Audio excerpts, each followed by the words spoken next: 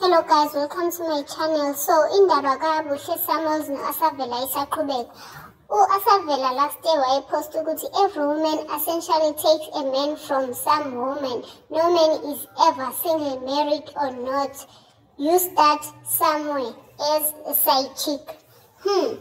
So le ndaba yakhe iyathusa ngoba kuthiwa indoda yakhe yayishadile. Yena waye-side chick. So manje yena useshade nendoda le and then ubuhle samuel kuthiwa usemshaye ngestina. Guys what are your thoughts on this matter? Please comment down below. Don't forget to like comment and subscribe. Love you. Bye